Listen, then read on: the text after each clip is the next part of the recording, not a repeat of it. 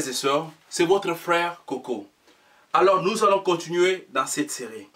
Nous avons commencé avec l'épisode où on a parlé euh, de la richesse qui a été réservée pour les enfants de Dieu. Nous avons parlé euh, de la force d'être partenaire pour ceux, parce que beaucoup de gens m'ont demandé comment, est comment, être, comment devenir partenaire de ce ministère. C'est qu'il y a beaucoup de gens qui voulaient bénir ces ministères. Alors c'est pourquoi j'ai eu le privilège de partager avec vous. Alors, dans cette aujourd'hui maintenant, je veux enseigner davantage. Parce que je suis, je suis intéressé. Je suis l'esprit de Dieu a mis dans mon cœur de voir la vie des enfants de Dieu changer financièrement. Il y a beaucoup des attaques qui viennent sur les enfants de Dieu. Il n'y a pas des attaques qui ont fait beaucoup de dégâts comme des attaques financières.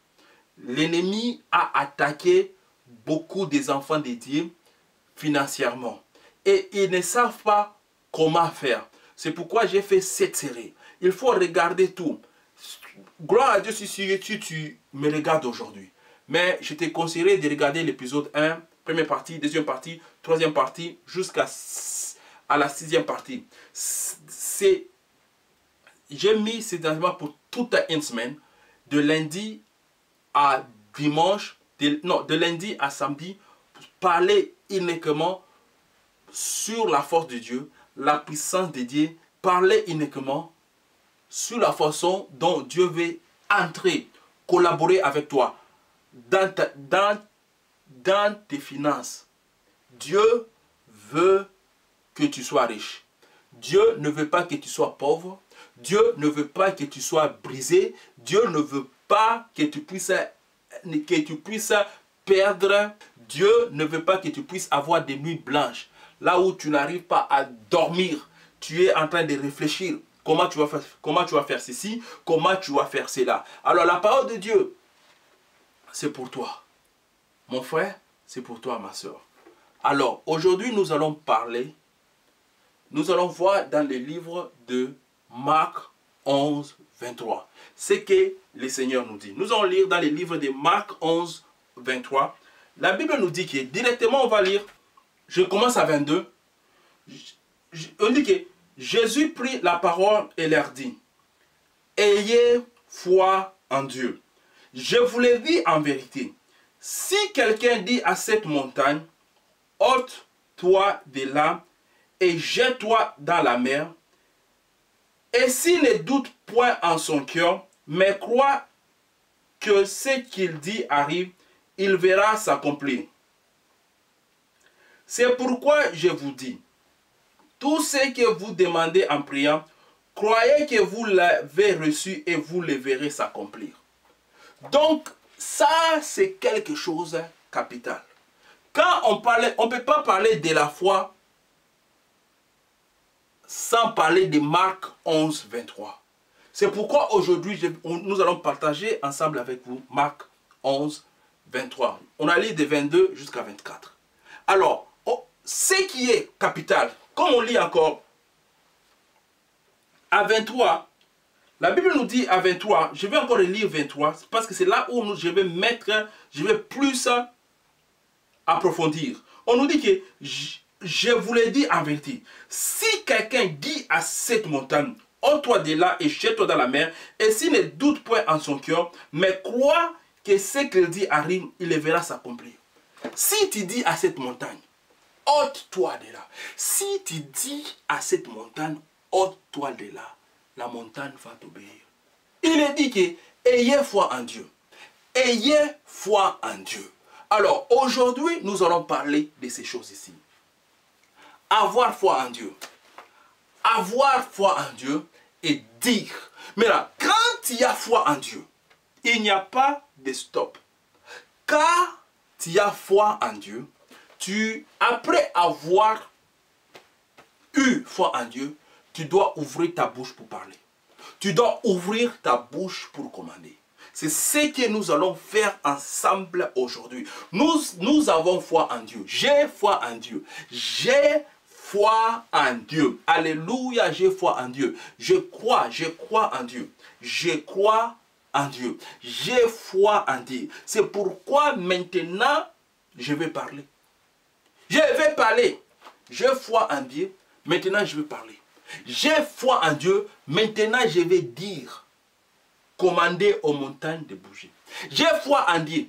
J'ai foi en Dieu. C'est pourquoi maintenant, je vais parler en, par le nom puissant de Jésus-Christ. Et les montagnes vont bouger. Les montagnes vont bouger. Parce que j'ai foi en Dieu. Marc 11, 23. Et tu diras, le Seigneur nous a dit que tu diras à la montagne de bouger et la montagne va bouger. Il y a beaucoup de combats. Les gens sont en train de dire, est-ce que c'était une montagne physique? Ou c'était une montagne spirituelle C'était une montagne physique ou c'était une montagne spirituelle Aujourd'hui, nous n'allons pas passer beaucoup de temps dans, dans les histoires de théologie. Mais nous allons prendre la parole de Dieu comme il a dit.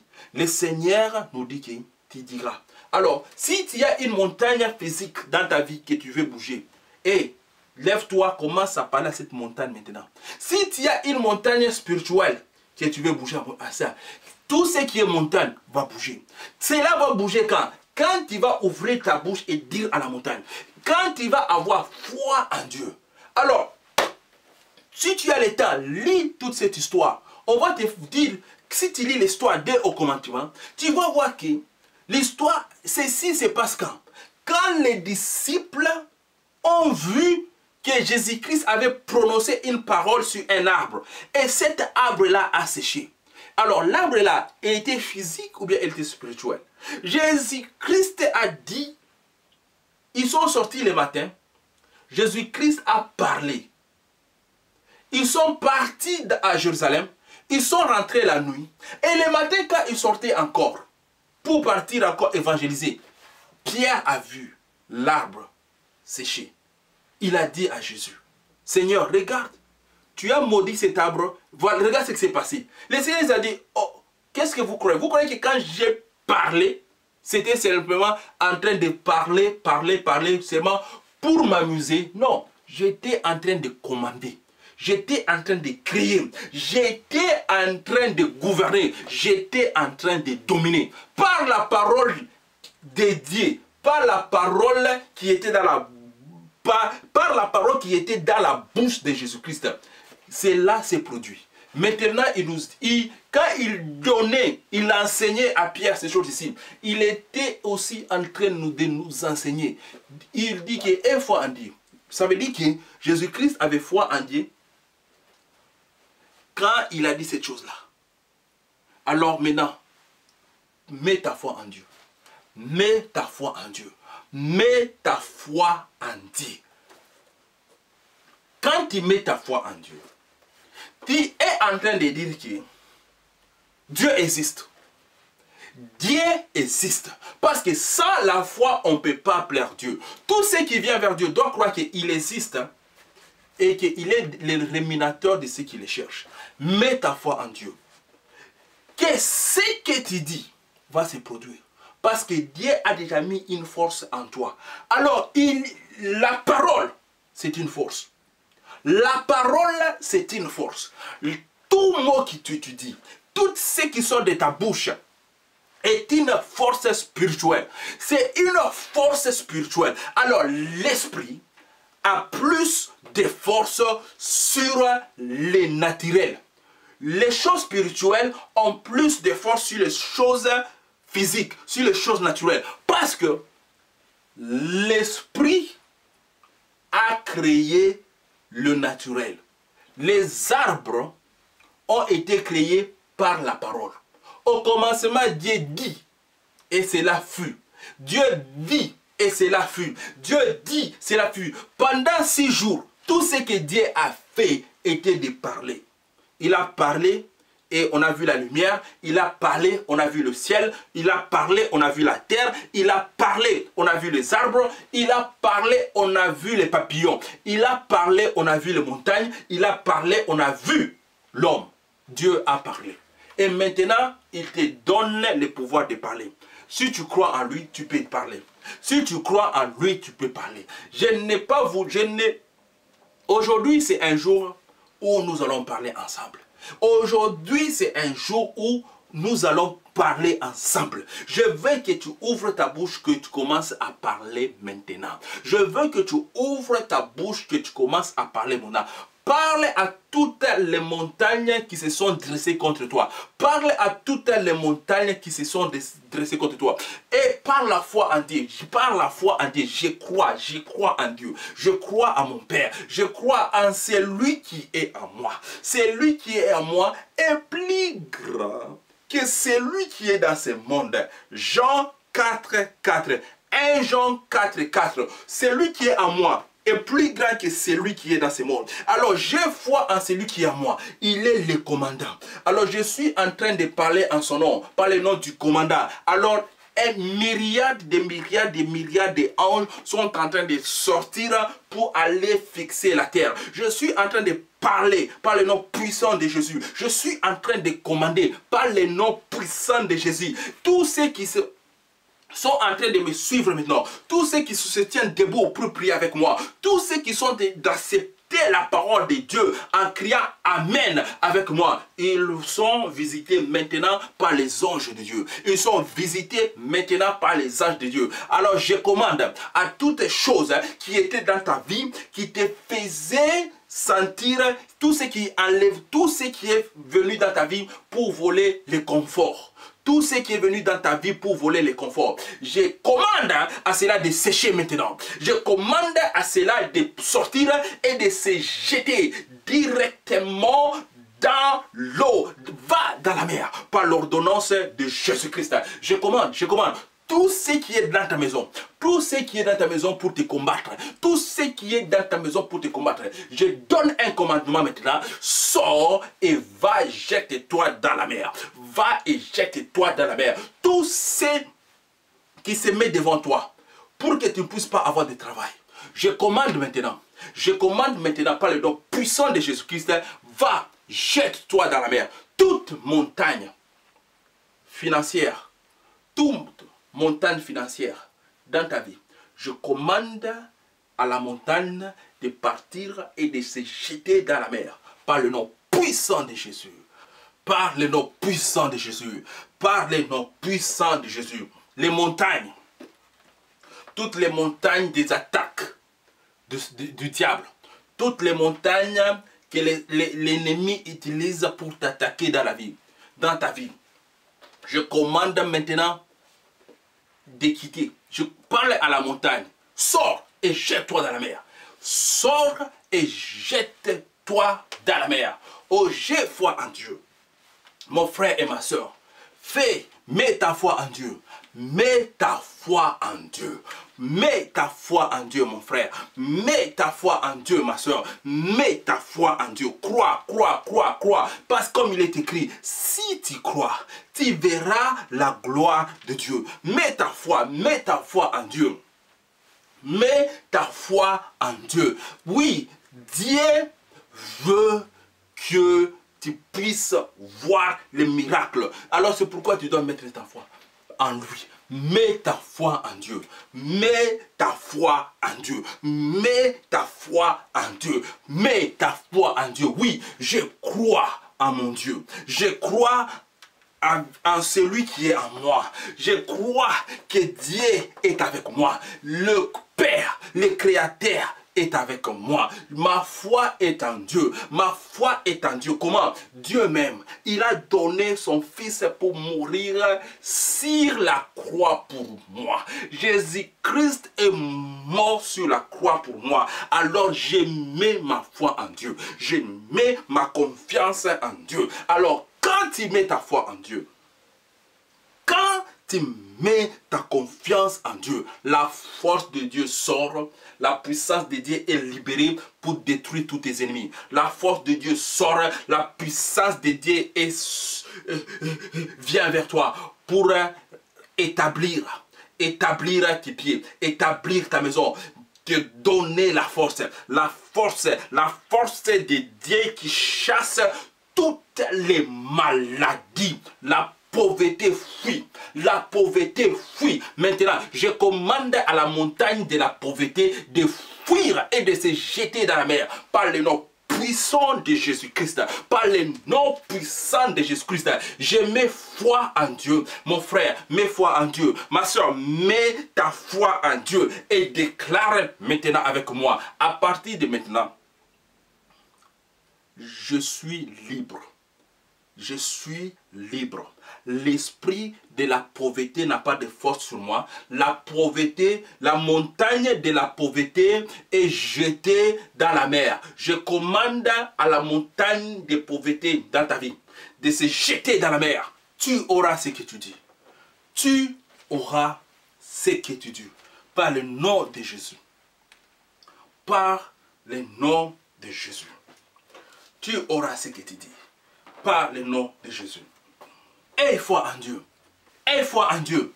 Aie foi en Dieu. Aie foi en Dieu. Il n'y a pas d'autre route pour sortir. Il n'y a pas d'autre chemin pour utiliser. Il n'y a pas d'autre moyen, pas d'autre méthode. Mais ce que Dieu a mis pour nous. Aie foi en Dieu.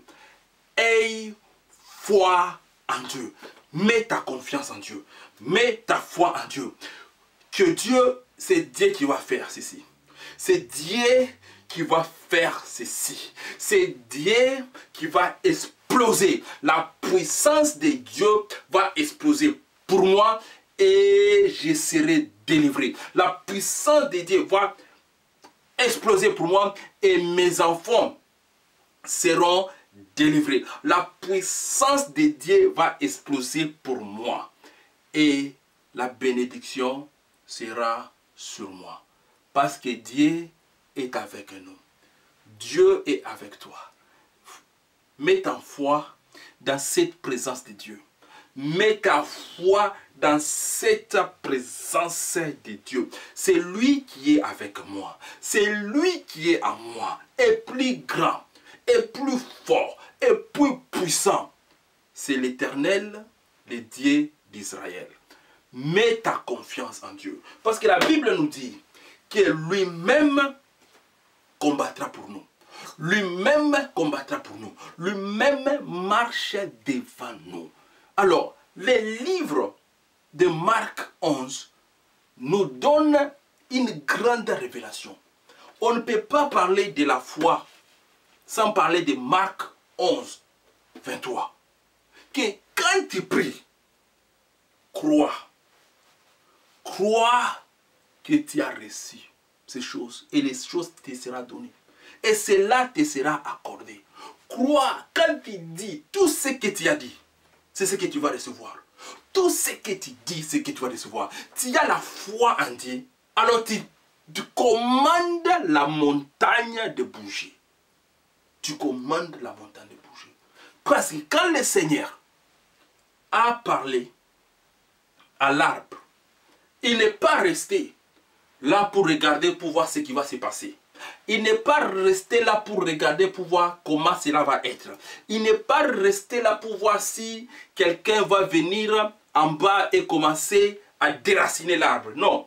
Il a dit la parole et il est parti. Comme s'il rien n'était. Il a dit sa parole et il est parti. Et le lendemain, quand ils sont sortis, le Seigneur n'a pas perdu son temps pour aller vérifier si ce qu'il avait dit était accompli. Mais par contre, ce sont ses disciples. Ce sont ses disciples qui l'ont demandé de revoir ils ont dit, Seigneur, regarde l'arbre, les figuiers est séché. Il les a dit, hé, moi, quand j'avais dit, moi, quand j'avais déjà parlé, pour moi, c'était déjà fait. Pour moi, c'était déjà fait. C'est cette confiance, c'est cette foi que Dieu veut que nous puissions mettre en Dieu. Pour que, pour que nous puissions savoir que tout ce que nous allons dire, cela va être accompli. Alors, quand Maintenant, mon frère et ma soeur, tu, tu, te réveilles dans cette compréhension. Quand tu te réveilles dans cette force et que tu sais que tout ce que tu dis, cela va être fait, alors ce n'est plus le moment où tu peux ouvrir ta bouche, commencer à dire n'importe quoi.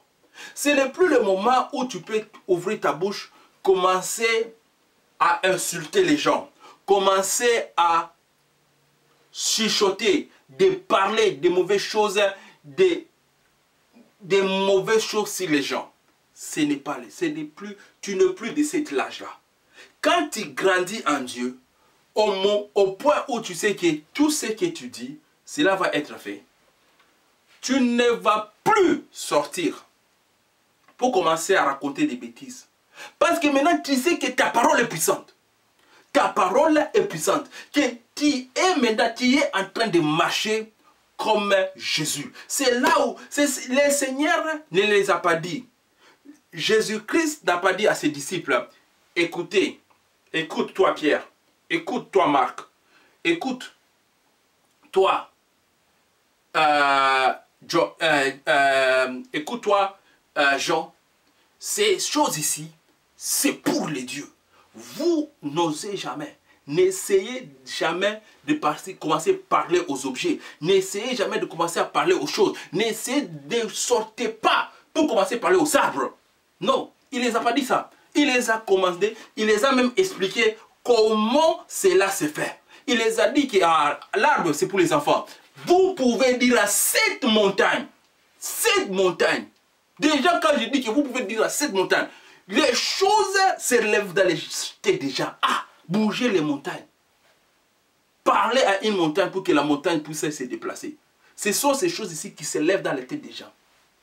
Je suis en train de voir, pendant que je suis en train de parler avec vous, le Seigneur est en train de me faire voir de nouveaux caméras que je vais utiliser dans ce ministère. Nous allons utiliser nous avons des caméras professionnelles, mais il y a des caméras professionnelles et des caméras professionnelles.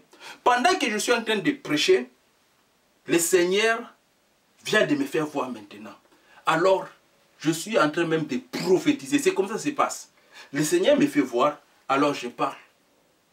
Je commande aux caméras, jolies caméras, nouveaux caméras, de sortir et de se jeter chez moi de se jeter dans, chez moi, dans mon studio, par la foi en Jésus.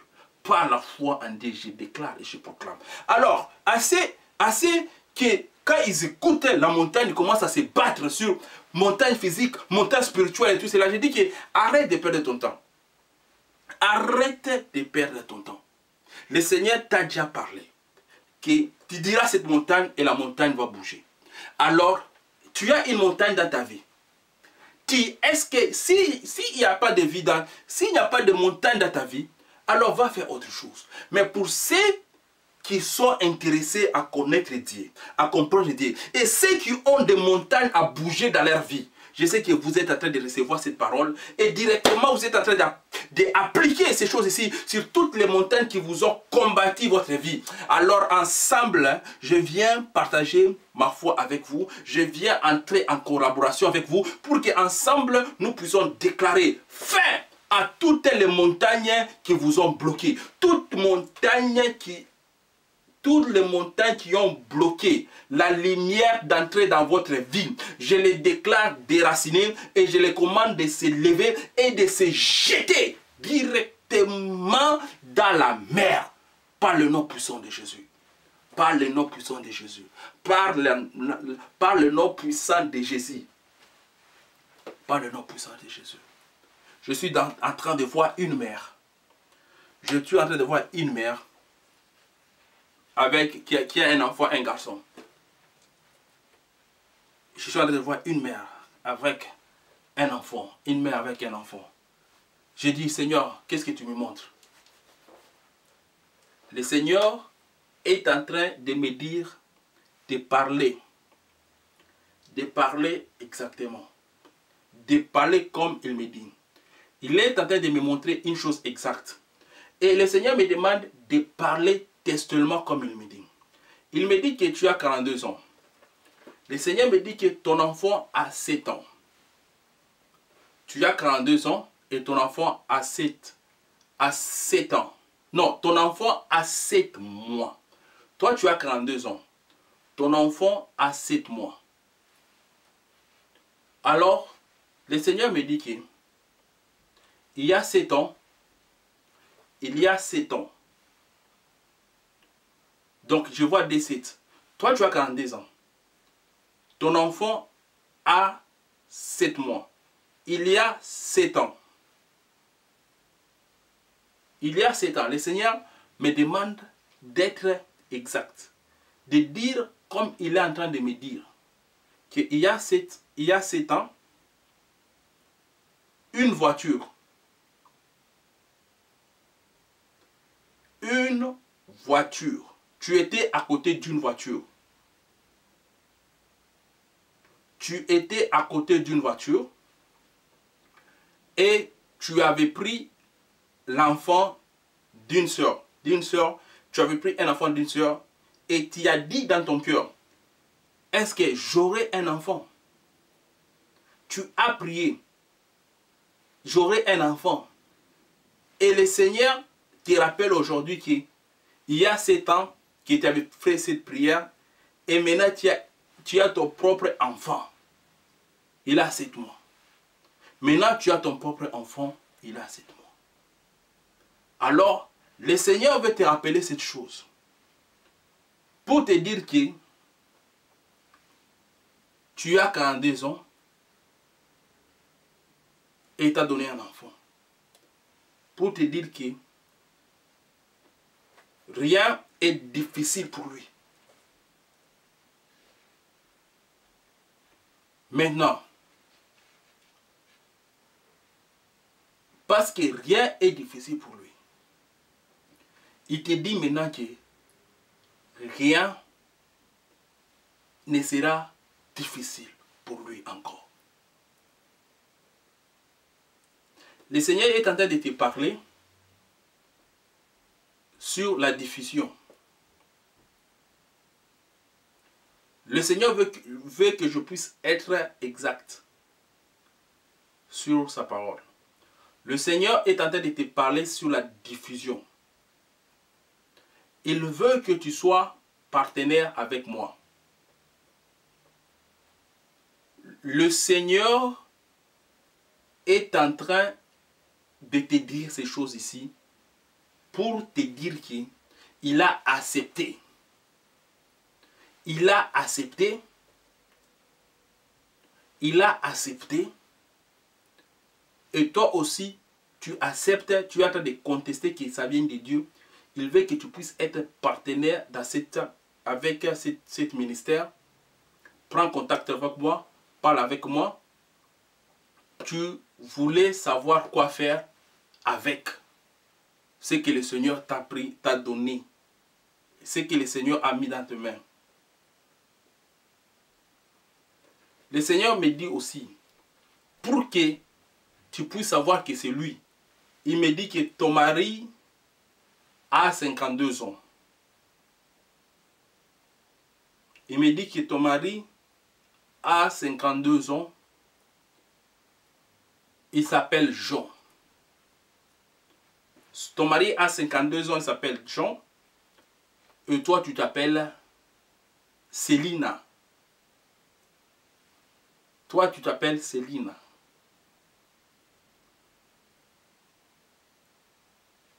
et toi tu t'appelles Céline. Alors, contactez-moi. Le Seigneur sait que, le Seigneur me dit que vous avez un cadeau pour lui, vous avez un offrande pour lui, pour cet enfant. Vous avez commencé à mettre un offrande, vous avez commencé à préparer un, un offrande pour Dieu pendant trois ans. Pendant trois ans, vous avez mis cette chose ensemble. Donc, frère Jean, maman Céline, Célina, frère Jean, tu as 54 ans, maman Célina a 42 ans, vous avez un enfant qui a 7 mois.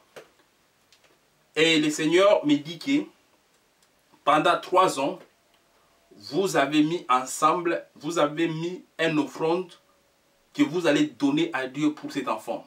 Alors maintenant, pendant vous, vous avez eu l'enfant, vous étiez en train de vous demander où est-ce que nous allons donner cette offrande? Vous voulez que le Seigneur puisse vous parler. pour cette offrande? Et le Seigneur me dit de vous dire qu'il approuve. Le Seigneur me dit, il approuve que vous, il approuve que vous amenez cette offrande dans ce ministère parce qu'il a besoin que, que cette parole puisse aller à la télévision. Ça sera pour la diffusion de ces messages à la télé.